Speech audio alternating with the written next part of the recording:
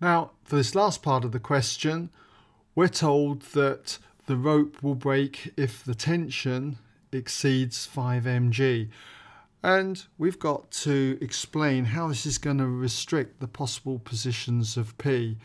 In other words, just find out what our range of values of X would have to be. So that means then that if the rope is not to break, that tension T must be less than or equal to 5 mg. And we found out in the first part of the question that T was given by this equation here. So all I've got to do is substitute this result into this inequality here and solve it for x. So if you do make that substitution, this is what you're going to get.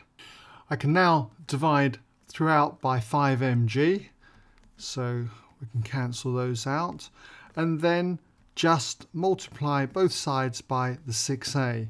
And doing that, I therefore have the a plus 3x is less than or equal to 6a. Subtract a from both sides, just leaving me with x, 3x I should say, is less than or equal to 5a and dividing both sides by 3 now leaves me with x is less than or equal to 5a over 3. And there you have it.